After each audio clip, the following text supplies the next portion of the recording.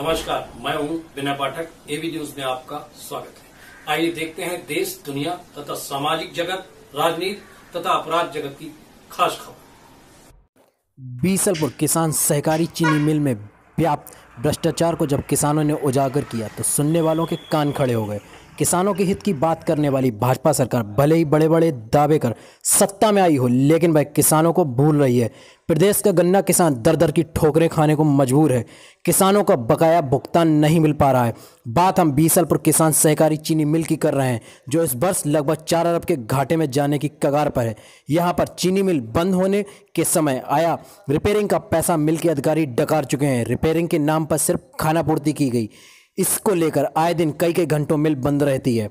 चीनी मिल मंगलवार को शाम अचानक बंद हो गई और 24 घंटे तक बंद रहने की संभावना भी है। ऐसे में मिल में गन्ना तुलवाने आए किसान दर दर की ठोकरें खाने को मजबूर हैं।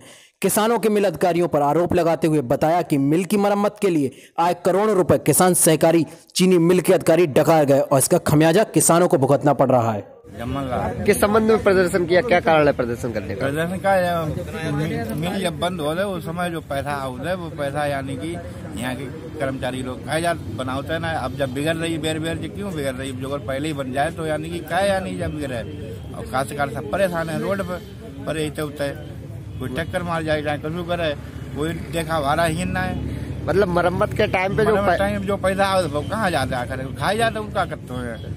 तो इससे पहले भी ये चीनी मिल खराब हो चुकी है इससे पहले यानी कि चौबीस घंटा खराब हो चुकी है फिर चौबीस घंटा हुई रहे बता रहे पता ना कैसे चौबीस घंटा हो अड़तालीस घंटा हो कितने देर हो पर जब वो ठिया है इनको पता ना चलती कैसे कहा है राग बेर बेर खराब करके रख ले। मोहम्मद सोहेल। किस संबंध में प्रदर्शन किया? ये मील खराब होने के कारण कराया है। मील मील जब बंद होता है तो उसके बाद में ये क्या करते हैं। ये लोग अधिकारी लोग या ये जो वर्कर लोग हैं ये कहा कि नहीं तनख्वाह मिली है भाई? जो पैसा आ रहा है वो कहा जा रहा है मील के लिए आ रहा है? ना तो कोई यहाँ कार्य हो रहा है। ये ये क्या चार चार डिवाइडर बना दिए पूरी डिवाइडरों का सब पैसा निकाल लिया। कहा जा रहा है वो पैसा? और ये जब चौबीस चौबीस घंटे हम खड़े रहते हैं हमें हम लोगों के कार को परेशानी है अधिकारियों को थोड़ी परेशानी है। जो भी है जो मील खराब हो क्यों हो रहा है? जब पैसा आ रहा है भाई ऊपर से कि पैसा इस, इसमें लगाओ। ना कोई मशीनरी लग रही नहीं लग रही है वही उसी को रिपेयरिंग करके उसी को कर दे ठोक दे। और जो भी ग्रांड आई वो सारा पुरजा नया आ गया नया। वो कहाँ नया है भाई? हम तो चौबीस चौबीस घंटे खड़े ही है। इसमें अड़तालीस घंटे हो जाए जब भी ना खाना खा सके ना लेट सके सुकून से। और रोड नाम है आपका? गुलजारी लाल।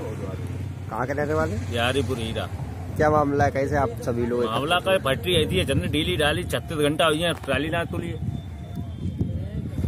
छत्तीस घंटे से आप यहाँ खड़े हैं। हाँ ये जो बंद है ये कब तक चौबीस घंटे बाद चलेगी। एबी न्यूज़ में खबरों का सफरनामा करते हैं। समाप्त। विनय पाठक को दीजिए इजाज़त। हम फिर मिलते हैं नई खबरों नए सफ़र के साथ। लेकिन चलते चलते गुजारिश विनती अनुरोध। यदि आपके आसपास कोई घटना घटित हुई है या कोई समस्या है और आप उसे एबी न्यूज़ तक पहुंचाना चाहते हैं तो हमारे स्क्रीन पर दिखाए जा रहे नंबर पर सीधे संपर्क कर सकते हैं।